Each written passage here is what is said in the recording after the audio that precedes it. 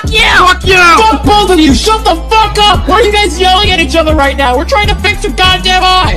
I just want to go back home and get myself a fucking McWhopper from Burger King, even though I don't fucking like Burger King and Burger King is shit!